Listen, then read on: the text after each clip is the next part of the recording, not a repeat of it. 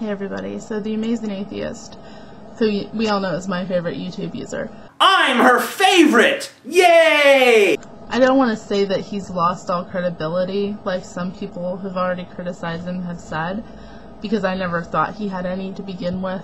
Oh, so when you said I was your favorite, you were being sarcastic. I see. If sarcasm's what we're doing, hey, I can be sarcastic too. And on that note, let me just tell you that I think your videos are wonderful. Just so informative, so well thought out, well reasoned, well researched, and I admire your commitment to put evidence before ideology. Congratulations on earning my respect. I've always thought of him as somebody who appeals to the majority opinion. Yeah, you know me. I'm always appealing to that huge atheist, leftist, libertarian, anti-military, anti-police majority that we have here in America. I don't even know why I bother making videos. The whole country already agrees with me who provides no intellectual content.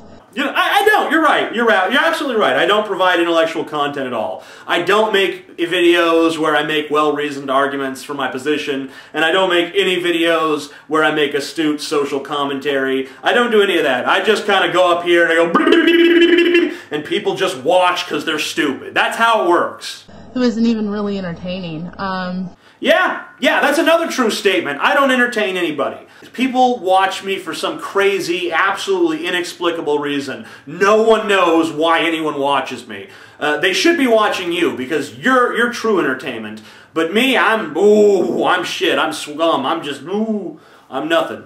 But that's my personal opinion, and oh no, no, those are facts. Those are, don't sell yourself short. Those are facts.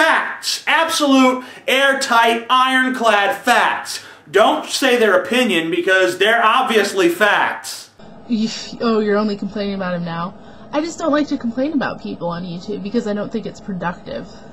Yeah, obviously you don't like to complain about people, because if you did, you'd probably say I was an appeaser of the majority who had no intellectual content and wasn't entertaining. But since you didn't say that, it's apparent that you don't like to complain, obviously. But I damn sure I'm pissed off about this video. Feminist smash! I don't like when people go off talking about things that they really don't understand. Mmm, yeah, that's a pet peeve of mine as well. He brought up, for example, in his video, um, porn. Like, quit trying to take everybody's porn away. First off, you assume that everybody watches pornography or uses it. I do? I wasn't even aware that I thought that. Thanks! I'm so glad that there's someone out there who knows what I think better than I do. Um, secondly, nobody is trying to take your porn away. Nobody's trying to ban it. The discussions that have been about pornography have been about how it's harmful. Come on now. Are we to believe... Oh, by the way, sarcasm's over. Are we to believe that you hate porn and you view it as harmful, yet you don't want it banned? Are we to believe this even in light of the fact that you are in favor of rigid state control? Are we to believe this even in light of the fact that you continually, throughout your videos, refer to our right to do what we please with our own bodies as not a right but a privilege? Are we to still believe it in light of your positions and your remarks that you truly don't want pornography to be banned? Sure, okay, you don't believe that pornography should be banned outright, but in your perfect world, in the utopia that you're going for, it is banned, isn't it? It doesn't exist in your perfect world, which you are trying to bring about. So is it really true that you don't want to ban pornography? Isn't it more true to say that you don't want to ban it immediately, but that you do want to ban it ultimately? Do you disagree with those arguments? Perhaps you should argue with them, instead of making gross generalizations. Perhaps you should apply that criticism to yourself before levying it at others. Um, thirdly, I mean, as far as pornography, if you had actually any idea what you were talking about, if you had done any research into the feminist movement in general, like in real life, or even on YouTube, where this debate has been going on, you would see that the feminist community is pretty split about the pornography issue. I said in the video that you're responding to that that was my personal opinion based on my conversations with feminists. I never made any claims that I did any research or looked at any polls to indicate what percentage of feminists were in favor of pornography and what percentage of feminists were against it. I, in fact, said quite the opposite. I made it known in the first minute of that video that I had done no such research and was speaking from my personal experience. You don't have the right. This isn't a right that you have to use other human beings as masturbation accessories, okay? There you go again! You disingenuous. No, I'm not going to get personal. But there you go again, talking about rights that we ought not have. Yeah, you shouldn't have this right, and you shouldn't have that right, and it's not a right to do this, and it's not a right to do that, but you're not for banning porn though, right? You're not for banning porn, you're just against the right of anyone to watch it. And by the way, little Miss Prissy Pants, what the hell is a masturbation accessory? I mean, I know I can go to a sex shop and buy an object which is a masturbation accessory, but I've never heard a person described as a masturbation accessory. Are you sure that it's men who are objectifying women? It seems like you're the one objectifying them by calling them masturbation accessories. Like, and, and what is the harm? Like, when a man masturbates, does the subject of his masturbatory fantasy lose a piece of his or her soul? When a man masturbates, does it somehow destroy the fabric of space and time? What is the harm? Draw me a fucking map where a man masturbating magically transforms into some pain and suffering for some woman somewhere. Straight up. Wake up to your own sense of entitlement. Um, you aren't entitled to sex. I'm not? Are you sure about that? Do you know why I exist? I exist because my mother and my father had sex. And my mother's mother and my mother's father had sex to create my mother. And my father's mother and my father's father had sex to create my father. And so on and so on and so on, all throughout the history of sexual reproduction. Every single one of my ancestors has something in common. They all got laid. And maybe that doesn't necessarily make me entitled to sex. But that does mean that I, as a biological organism, want sex. Because all of my ancestors wanted sex. Because if they didn't, then I wouldn't be here. If your ancestors didn't want sex, you wouldn't be here. So, if I want it, and someone else wants it, and I want it with them, and they want it with me, and I say, let's have sex, and they say, okay, what is the fucking problem? And I'm damn sure not gonna let you, um, you know, continue this type of stuff.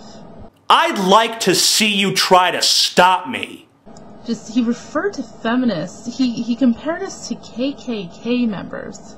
You're right. I was out of line. I would like to formally apologize to the KKK for any image problems that I might have caused them by comparing them to feminists. We're activists for social change, activists for social justice. You're an activist against biology.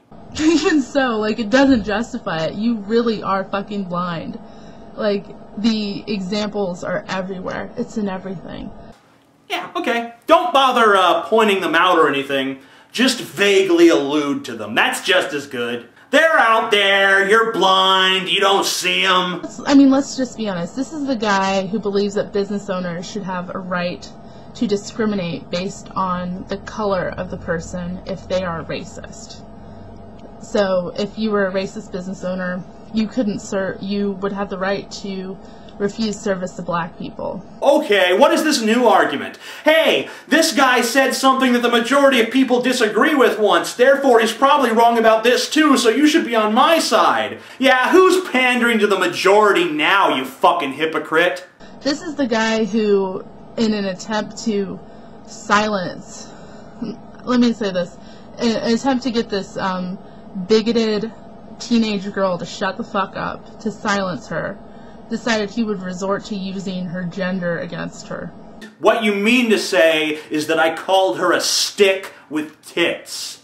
And so what? If a girl called a guy that she didn't like a, a, a, macho jarhead asshole, would you call her a sexist? No, of course not. Because sexism is a one-way street for you. When it goes the other way, you wear the blinders, you don't care, oh, that didn't happen, all men are pigs, all men are scum, all men are shit, and I know that you think that that's not your stance. You honestly think that you don't think that about men. But you really do think that about man because you hate the biology of man. You hate the evolutionary imperatives that are in man's brain. And you know what? You can't hate man without hating yourself. All the evolutionary traits of male reproduction and the evolutionary traits of female reproduction, they have marched in lockstep. They have grown together. And if you hate one, you hate the other. So I submit to you that you despise sexuality. You despise your own sexuality because you despise my sexuality, because you despise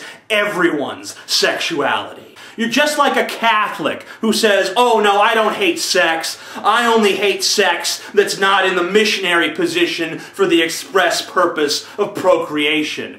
You have a different standard for what sex is acceptable, but it's still a narrow standard that precludes the sexual enjoyment of everyone else in the world. Because you want to have it a certain way, and you can't say to yourself, well, that's just my personal preference. No, you have to be an ass asshole and apply your preference to everyone else. And you get to call it feminism. Oh, I'm a feminist. It's a progressive, enlightened philosophy. My ass, it's a progressive and enlightened philosophy. It's a bullshit, bigoted, narrow-minded asshole philosophy for fucking morons.